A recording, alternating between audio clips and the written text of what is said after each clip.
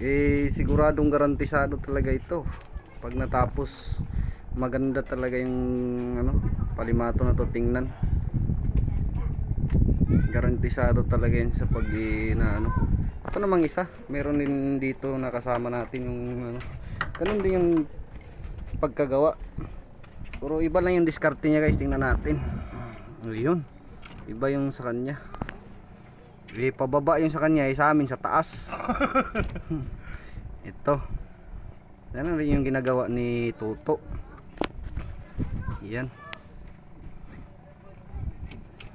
Oo.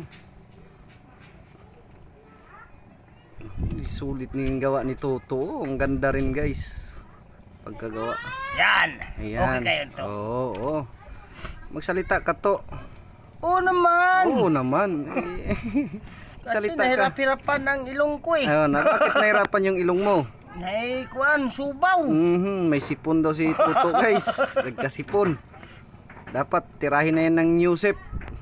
Kaya Tsaka ko lang isip. ano, Danduay talaga. ala. Guys, tanduay yung hinihingi niya. Ayaw niya ng Newsep. Ko.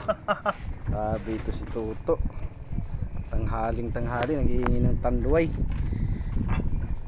O, ano nangyari dyan? Ayun. Guys.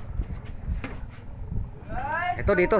Ayun, tingnan natin. Tingnan muna natin dito sa loob kay nagsisigaw, nagsisigaw na ito sa loob. Tingnan natin. Ito. Busy busy rin sila, guys. Ginagawa. Oh, ito yung pinsan ko, guys, na ano. Um, ayun, ah, naghay.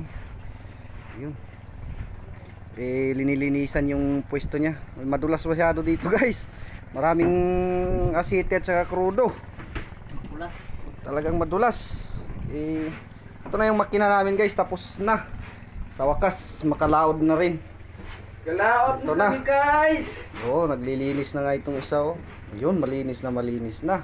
Pwede na ito sabak sa bakbakan ng mga isda. Ito na guys, tapos na. Uwa kayo guys. Mm.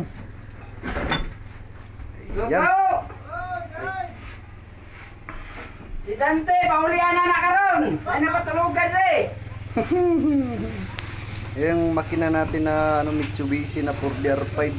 Ito. Ayan.